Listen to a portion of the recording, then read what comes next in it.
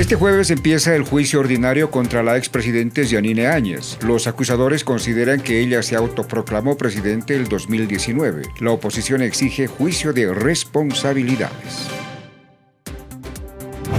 Los choferes de carga internacional nuevamente con dificultades de tránsito en la frontera con Chile. Los acuerdos sobre bioseguridad con las autoridades de Chile no se cumplen. También quisiéramos eh, pedir a nuestras autoridades para que tengamos un flujo vehicular en las fronteras y no tengamos largas colas, quizá habilitar la frontera que araña Bisbiri, cosa que nos pueden facilitar el tránsito vehicular para nuestro sector indicar que eh, los compañeros transportistas siguen sufriendo esas inclemencias del tiempo, las largas colas, las largas esperas.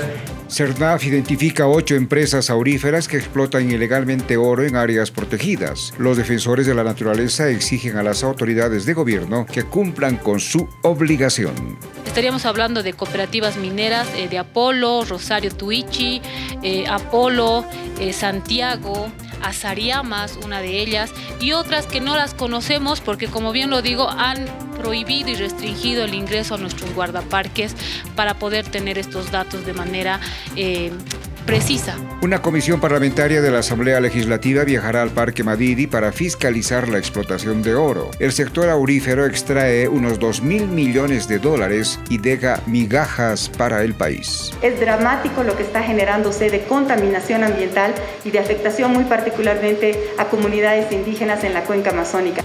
Nosotros estaremos siempre en contra de todo lo que vaya en contra primero de las normativas que tenemos y además en contra de nuestra madre tierra. No puede ser eh, que eh, eh, estas explotaciones puedan estar contaminando a nuestra madre tierra.